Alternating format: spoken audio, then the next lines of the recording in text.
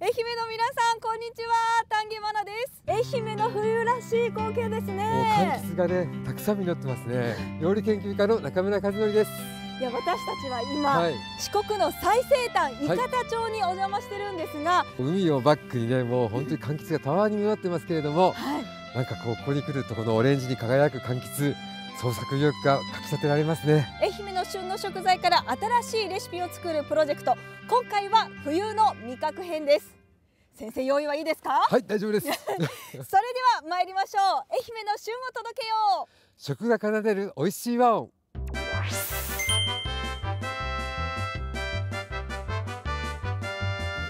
粒がつぶつぶ。そう今までなかったこう柑橘の新しい品種。みよこさんいっ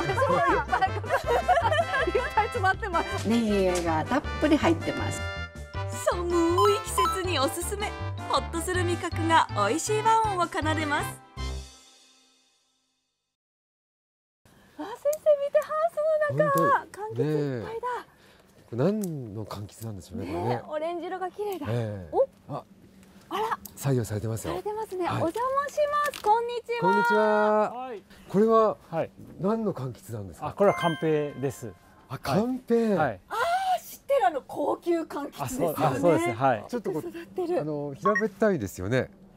本当だ。そうだそうだ、はい。その名の由来がやっぱり甘くて平らなみかんということでカンペという名前が付けられたみたいです。今年のカンペの出来いかがですか、あすこぶるいいですね。もう平年に比べて。はい大変糖度も高く仕上がっています。伊方町の田淵東司さんおよそ10ヘクタールの園地で20種類以上の柑橘を栽培しています。年明けに旬を迎えるのがこのカンペ田淵さんは 20R の農業用ハウスで1シーズンに5トンから6トンのカンペを生産しています。伊方町を含む JA 西宇和管内は県内でも有数のカンペの産地なんです。日当たりのいいところそして水はけの良い、ね、土壌がやっぱり糖度なり味を増してもらえますので、はい、そういうのにはこの西宇和地域、ね、特に伊方町なんかは一番適している場所だと思います。カンペイは愛媛県が16年の歳月をかけて生み出した愛媛オリジナルの高級柑橘で2007年に品種登録されました。その時田淵さんは？全然今までの柑橘にないような食感だったので、ええ。それにプラスすごい甘さを感じる、うん、これは大変いい果実だなと、まあ、皆さんに喜んでいただける本当に自信を持てる果実だなというのを、まあ、確信を持ってたんで、まあ、登録を待って即導入ということを、はい、決断しました。ビビッときたんだ。そうビビッとそうビビッとですね。はい。果実の形がわかるぐらい、は上のこのねそう皮の部分もすごい薄いのがわかりますね、こう外からもなあこれ何袋あるかないうのまで数えれるのが、まあ、ある種カンペイのこれも一つの特徴です。は他の柑橘に比べて作り方が難しいとかってやっぱりありますか？い、皮が薄かったでしょ。ええ薄かったです皮よ、がこう成長するよりも中のこの中の実が成長する方が一気に早くなったりする時があってあ。根から吸収した水分が一気に果実にくるんです。そしたら皮の成長よりも果実の中の成長の方が早いのでここがパリンと割れて劣化という症状が起きてあの何言いますかね。こう収穫までたどたどり着けない果実がいっぱいできるような性格があって、ええ。まあ、そこをなんとかねあのどうしたらいいかっていうのが、まあ、我々生産者の一番の課題になっています。この辺りとか、まあ、見てでヘタ元を確認していただいてカペイの特徴でここに緑が残るというのがええで最後は熟したらここがもう全部黄色くなってああ、はい。じゃあこれちょっと行ってみたいと思いますはい。こう色づいてここも緑がなくなってます、はい、そうです。でここのはい。を水平に切ったらはい。おー。これは収穫できました。これまさにカンペイらしい形じゃないですか。そうですね。はい扁平で。パカッと割っていただいたら中が本当になんか中の上脳が弾ける感がすごくわかると思いますおおそうですね。あこんな感じでね。はい。で見てください。上脳が薄いでしょで皮も薄いし中の上脳が薄いのでこの中のこのつぶつぶの砂状というんですけどこの食感が本当にプリプリ感がもうカンペイの本当の特徴です。香港パクパク。はい。おいしい。うんうん。うん。粒がつぶつそう、本当つぶつぶがね。食感がすごくよくってでその粒が弾けるためにすごくこうジュワーっとジューシーなんですよね。でなんといっても甘さが抜群、はい。美味しい。美味しいですね。収穫したカンペイと一緒に田淵さんの選果場へ柑橘がたくさん倉庫の中にあって、お忙しい時期なんですね。そうですね。今もうみかんから引っ掛けてもう最盛期です。これはまあ今流行りの AI 選果機いうのですけど、はい。果実の甘さとか酸味とかをまあもちろん傷とか形とか大きさとかも測れるんですけど、こちらの画面にあの一個一個のこの成績が成績が出てきますので、見ててください。はい。では一つ一つ流してみます。お願いします13.6、13.1、13.1って続いてる。あ、十三点七出ましたね。12度を超えると、え温酒みかんとかでも特集品のレベルで、はい、販売されています。糖度にプラス酸味が酸を測れるというのが、まあ、ある意味新しい。畑と選果場でカンペイの素晴らしさを再認識した中村さん。新レシピのヒントにしようとやってきたのは去年8月に誕生した佐田岬半島ミュージアム。佐田岬の地勢や歴史暮らしや産業に関するさまざまな資料が展示されています。佐田岬の柑橘栽培は明治時代に始まり徐々に作る品種が増えていったことなどが紹介されていました。ああ、タイだ。北は瀬戸内だし、南側は宇和海で魚種も豊かですよね。柑橘と漁業をつなぐっていうのは、まあ、暮らしそのものを表現することにもなるかな。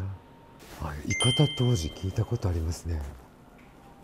佐多岬半島にはかつて四国最大の当時集団と言われた伊方当時がいた。お酒と柑橘、柑橘とお酒。あ、ところでこの番組では新レシピの他に愛媛の旬の食材をテーマにした曲作りも進行中なんです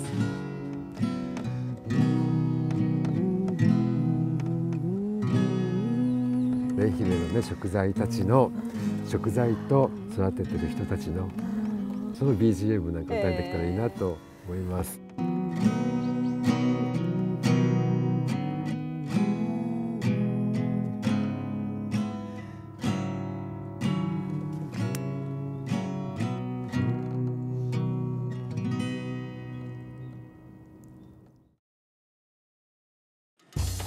はいでは早速カンペを使った新レシピ作りを始めていきたいと思います。あの今日あの田淵さんのお話を伺ってもう全部使えるっていうことが分かりましたよね。皮からそれからあとあの上納のあの薄皮も全部あの薄いし。なのでこれらを全部ねあの上手に生かしてカンペを丸ごと使ったタイのポワレです。おおわかります。おおー果汁とのす果汁がすごいですね、はい。これ全部これ入れていきましょう。でこのここ以外、はい。えヘタ以外全部使います。これ皮むいてこの皮使いますね。えいやこんな使いはい方されたことありますか、いや初めてですね、う んこの薄皮もつけた状態ではいどんどん入れていっていいんですどんどん入れていかきます。はい。こうもうざっくりざっくり。ペ丸ごと本当に1個分ですねカンペ1個に対してですね 300cc の水を加えたらこれで火をつけますね。この皮が柔らかくなるまで煮ていくんですよ。旨味をちょっと加えるのに、はい。あのこれ昆布茶ですね。白ワインです。こういう方ってすごくあの杜氏さんが多いんですよね。同じお酒つながりで、えー、杜氏さんということからね白ワインをちょっと使ってみました。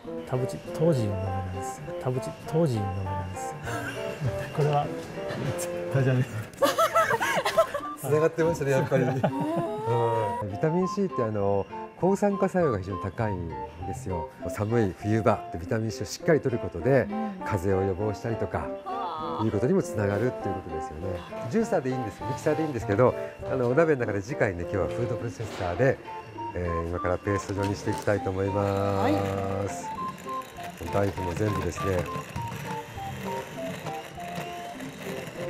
味を見ながらあのお塩を加えて調味してください。これあの皮付きのね切り身がいいと思います。こちらを皮を下にして焼いていきましょう。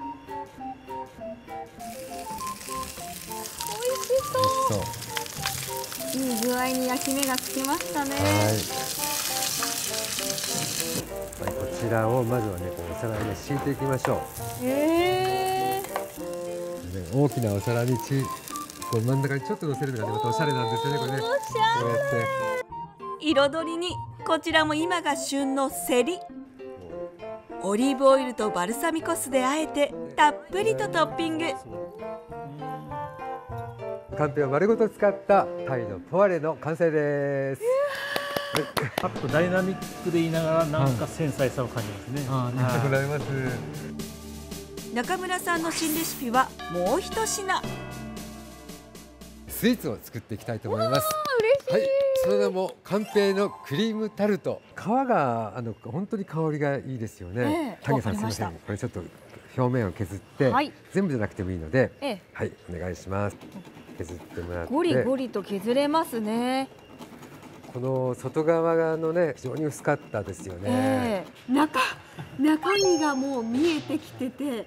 他のだと中がもう、ね、潰れちゃいますけどね皮だ取るだけでもしっかり残ってますもんね。しっかりとこうパンとしてるからうん。潰れることなくってでまた何といってもこう削ってると香りがすごくいい。生クリーム。これを今から泡立っていくんですけれども完全に泡立てる必要はありません。ちょっとこうもったりになって、まあ、78分立てになればいいんですけれどもここにこのカンペイをねこのまま1個ずつ全部こうやって入れていくんですよ食感というかこのつぶつぶ感を生かすためにもうこのフォークとかでねこう潰していこうと思って。ここにクリームチーズプレーンヨーグルトグラニュー糖溶かした粉ゼラチンレモン汁を加えて混ぜ合わせ市販のタルト生地に投入。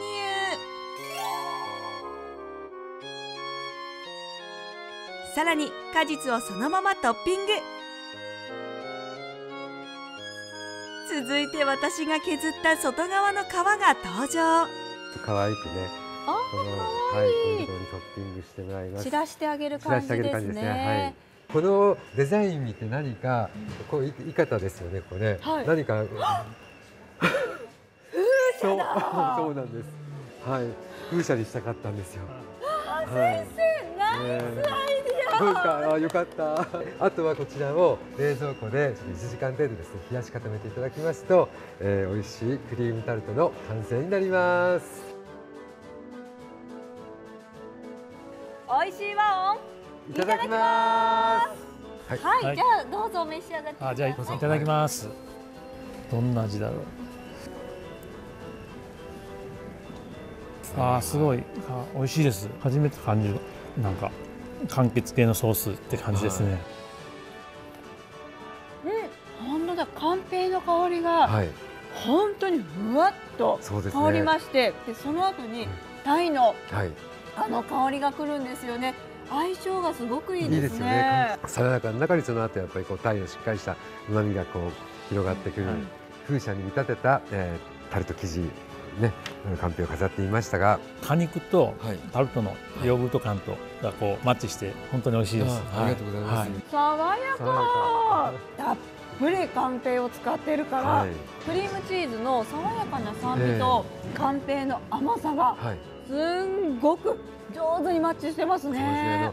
この削った皮ですよね、これがアクセントになるんですよ、ね。この香りがはい。すごくダイレクトに香ってきます、美味しい。今まではもう直接こう皮を剥いて食べるだけのことだけを考えてきたので、こういうふうなこう広がりがあるとは思いもつかなかったことが発見できてよかったですし、まあ、これからますます我々生産者としてもそういうのももうどんどん PR していってもっともっとカンペ作りに励んでいけるかなというふうに思います。ありがとうございます。何よりやっぱり生産者の方の方の思いや声を聞いたことで、まあ、素材が語りかけてくるくれてるものを知ることがやっぱりレシピ開発の鍵なんだなとしみじみ感じます。さあ続いてもう一種類、はい。愛媛の冬の旬をお届けしましょう。鍋物には欠かせない白ネギです。白ネギの生産者に会いにやってきたのは正木町。うわあ作業されてる。たーたすごい。たくさん待ってる。すごいこんにちは。あ、こんにちは。渡辺正輝さんと美代子さん。夫婦で1シーズンにおよそ2万本の白ネギを生産しています。白ネギ歴は20年。今年はあの例年なくあのちょっとよよくできた方なんですあそうですか。はい、道後平野のまあ温暖な地域ですから、適度な水分は必要だと思うんですけど、過度にやったらはいお湯いうことはダメですから、はい。あということはやっぱりこの松山平野っていうのがちょっと雨が少ないはい。ということもネギ栽培には適しているってことですか、さらに渡辺さんの白ネギは？この特例農産物指定いうことで価格費用が5割減でやっとるいうことです。これまあ主に牛糞なんですけど、え手間かかってるし愛情もかかってる。そうなんですよ。美代子さんの愛がいっぱいいっぱい詰まってます。白ネギ収穫。させていただきます。ー頑張ります。おおおけ結構力入れますよ腰があ、腰が入ってないです。はい、あ入れました、はい。あ本当結構力入れますよ、はい。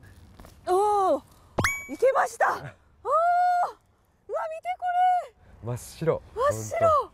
でねあーいい香り。土から抜いた瞬間のネギのいい香りですね。うわー綺麗な。これからあの倉庫の方へ帰って製品にするように皮を剥いでいったりするんです。皮を剥く。はい。渡辺さんによるとネギの皮を剥く作業が面白いとのこと。作業を行う倉庫にお邪魔しました。まあ私はもう座ってやるんですけど、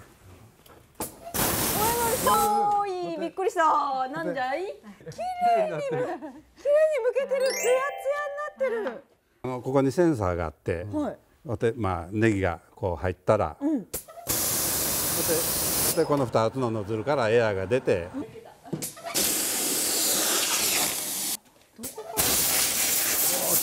おおこれこう皮むくでしょ、はい。そしたらある程度こう綺麗なのが出てくるんじゃないですか、これじゃダメなんですか、はい、これ自体残して食べるとしたらちょっっと食感が硬硬いいうか、はい。口に残るような感じになるもんですから、うん。におらん。といかんですから、はい。であもう綺麗うわお見事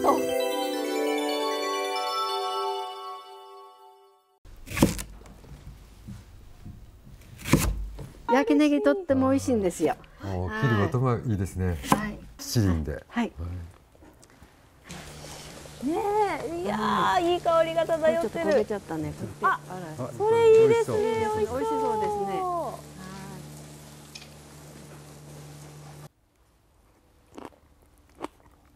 うん。甘いうん。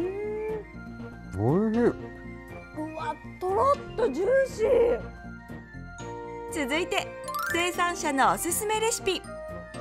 白ネギたっぷりのホワイトシチューです。はい。これも玉ねぎを使わずにはい。すべて白ネギ。白ネギで。うわー本当だ。はい。とろとろになってる。煮込んだ白ネギのこのこのとろけ方っていうのがね、もう口の中が本当嬉しくなりますね。長ネギってすごくあの旨味成分が大きいんですけど長ネギが全体をこううまくなんか引き立ってまとめてる感じがします。万能っていうのは一つのキーワードかなと思うんですよね、何に入れても合うどんなものともこう相性がいいっていう、まあ、ここがやっぱり一つのポイント。中村さん新レシピのヒントを探しに正木町の偉人ゆかりの場所にやってきました。技能作兵衛江戸時代大飢饉の際に作兵衛は麦の種もみを食べることなく餓死してしまいましたがその種もみのおかげで後の人たちが飢餓から救われました。作兵衛の行いは今の世にも技能精神として語り継がれています。麦といえばあの食材いいものができそうです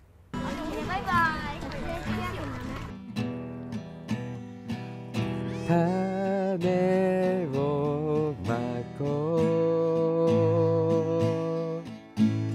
苗を育てよう。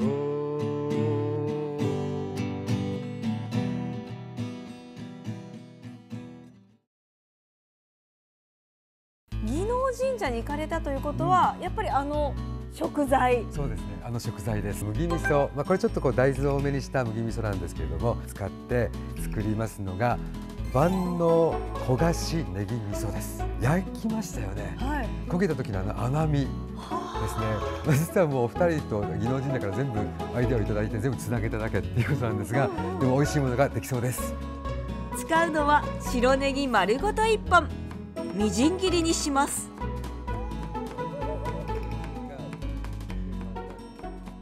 この青いところに塗るがありますよねい。っぱいね、はいはいはい、はい、これがやっぱりあの免疫力をねすごく上げてくれる部分なのでごま油これたっぷり使いましょう。大さじ2はい。杯こちらにですねこの今の刻んだ長ネギ1本をね全部入れてしまいます。はい。七輪でね中からぬるっと出てきたえあの甘みですね。それをここで生かしたいと思います。ネギの甘みが溶け出してくるのを待ちつつ調味料を合わせます材料は味噌砂糖お酒みりん醤油生姜おろしにんにくそしてお好みで豆板醤。ごま油の香りと、はい。ネギの香りのこの相性がすごくいいですね。ね。全部いきます。はいお願いします仕上げにカツオの削り節を振りかけて水分を飛ばせば万能焦がしネギ味噌の完成です。このこの匂いだけでご飯一膳ぐらい。いやもう先生。午前午前午前いかがでしょうか？早い。万万能焦がしネギ味噌です香ばしい香ばしい香香ばしい香り美味しそう。りこちらをたっぷり塗って召し上がってみてください。最高だ。はい。もうたっぷりいいですよ。いいよ。いいじゃないですか。